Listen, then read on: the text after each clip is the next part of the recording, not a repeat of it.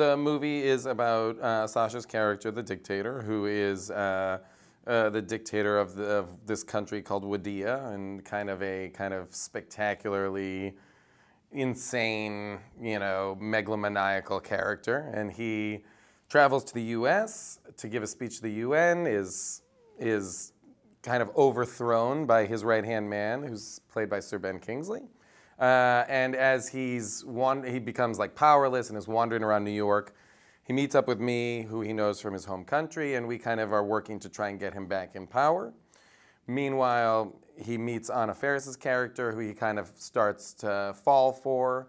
Um, and through falling in love with her and his machinations with me, we managed to kind of get him back in power, but in a way that is hopefully or perhaps not exactly as a more benign, uh, more benevolent dictator than when he started.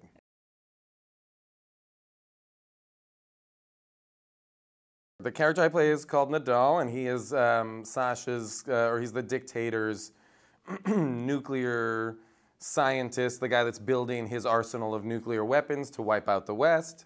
Um, and uh, early in the movie, he has me assassinated, but in reality, I'm not assassinated. Uh, the resistance gets me over to the States. And then when Sacha winds up in the States, I wind up meeting up with him, and I'm basically, I basically become his sidekick. And I'm, if he's a, you know, idiot, buffoon, crazy person, then I'm the straight man who constantly has to kind of keep him on track and has to deal with his insane ideas and theories.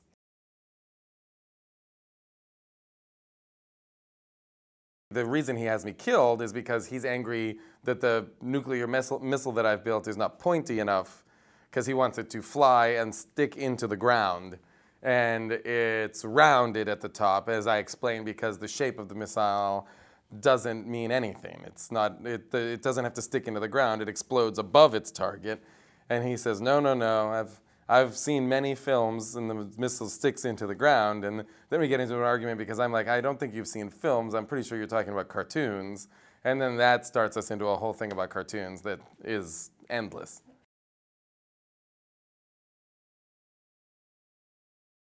He rules his country like, you know, like a child, like a child tyrant. You know, he changes the words on and off both to his first name, Aladeen. He thinks, you know, he, he makes all of his uh, all of his army are beautiful women that he sleeps with. He's like he's an idiot. He's basically just like a child. Uh, he's all like id, all his desires, everything. He's very um, he, he's very capricious. He's like he's he's he's a crazy person. It's like it's a maniac. It's a it's like a maniac ruling a country, but but in a in a way that's really hilarious and terrifying.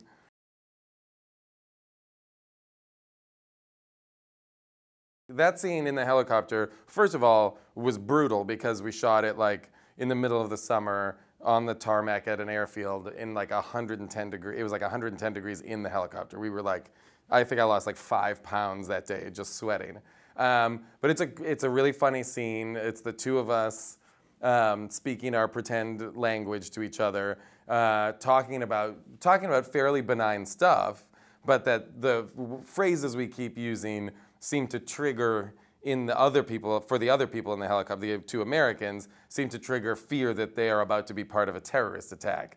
Because we're, we're talking about Porsche 911s, we're ta- which you know we, we keep saying everything but not and everything is in our fake language except for the phrase 9/11 or we keep talking about like you know he's talking about fireworks over the Statue of Liberty but he's saying Statue of Liberty you know. So everything seems to them like they're in a helicopter with terrorists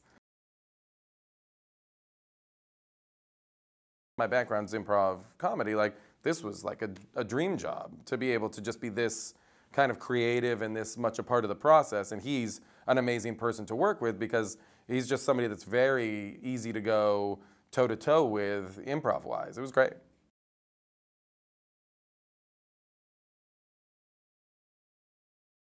Being in a Sacha Baron Cohen movie is like amazing.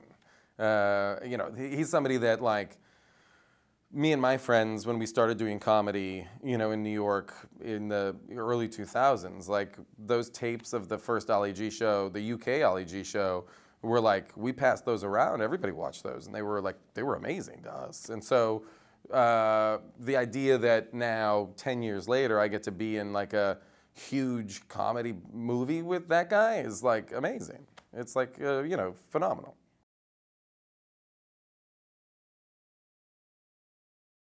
I think people like that he's like completely outrageous, completely, you know, like just, I, I think especially in those, in Borat or Bruno or in the Ali G show or whatever, like, I think people really, I think people respond to how extreme the situations he puts himself into are, you know, especially because those take place in the real world. And I think those, you, you, it's a, it seems funnier when you recognize the actual danger that he's in sometimes. And that's, it's, it's, it's more visceral and there's something really compelling about it.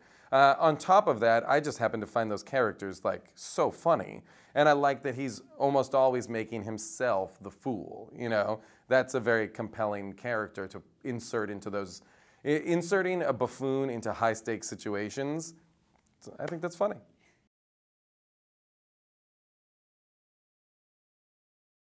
When I watched the movie, the scene that I laughed the hardest at, maybe because I wasn't in it, so I had no, I wasn't prepared for it, was the birthing scene in the market where the where Kathryn Hahn has a baby in in the supermarket. That just made me laugh. I thought that was insanity. Uh, that really cracked me up.